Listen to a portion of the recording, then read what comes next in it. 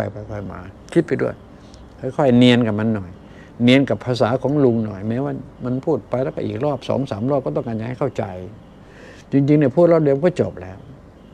นะฮะมันก็อย่างว่าแหละนะ ที่บอกคนที่ว่องไวมันก็ทันทีนะที่นี่เราไม่มีคำว่าโง่นะครับ ไม่รู้ว่าก็มันไม่เข้าใจมันจะไปโง่เง่ออะไรกันนะเออก็มันไม่เข้าใจเออ เข้าใจเร็วเข้าใจช้า เข้าใจก่อนเข้าใจหลัง เข้าใจทันทีเข้าใจล่วงหน้าเห็นไหมใครบอกว่าโง่ ในลุงไม่มีโง่ก็แล้วกันนะยกเว้นลงพูดของลุงเอง เช่น อย่าเชื่อนะ เชื่อง่ายโง่มากนะโยม เชื่อยากโง่น้อย ไม่เชื่อไม่โง่ และหรือมีสิทธิ์โง่ดักดานไม่เชื่อ ก็หนีเลยอะหนีจากจอเลยประมาณนั้นโทษทีขออนุญาตเออ ไม่เชื่อไปเลย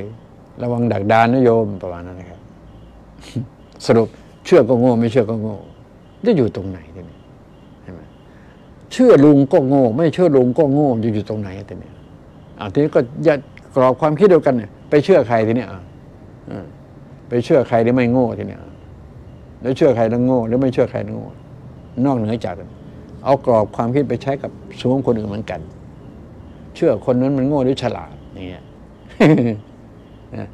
ไม่เชื่อคนนั้นโง่หรือฉลาดเนี่ยเสร็จแล้วเชื่อลุงโง่หรือฉลาด ไม่เชื่อลุงโง่หรือฉลาด ถามว่า สรุปแล้วเชื่อก็โง่ ไม่เชื่อก็โง่ มันก็ไม่ฉลาดทั้งคู่แหละใช่ไหมเชื่อก็โง่ ไม่เชื่อก็โง่ ฟังให้ดีนะ ภาษาลุงไม่ได้นะแล้วจะไปยังไงต่อ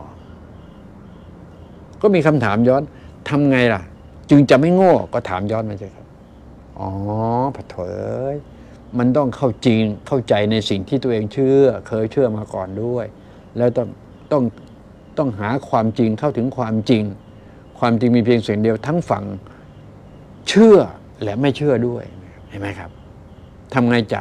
เจอของจริงความจริง ทั้งฝั่งที่เชื่อ แล้วก็ไม่เชื่อด้วยเพราะต้องหาความจริงเพราะเชื่อก็โง่ ไม่เชื่อก็โง่ทำไงจะไม่โง่ ก็ต้องหาความจริง ความจริงมันซ่อนซ้อนอยู่ในความเชื่อนั่นแหละ แหละซ่อนซ้อนอยู่ในความไม่เชื่อด้วยเห็นไหมครับหาให้เจอ ลุงเจอแล้วลุงก็นำมาบอกใช่ไหมฮะแล้วก็ทำตามดูซิโอเคไหมครับ ลุงเจอแล้วลุงก็นำมาเล่าให้ฟัง ชัดเจนเนาะ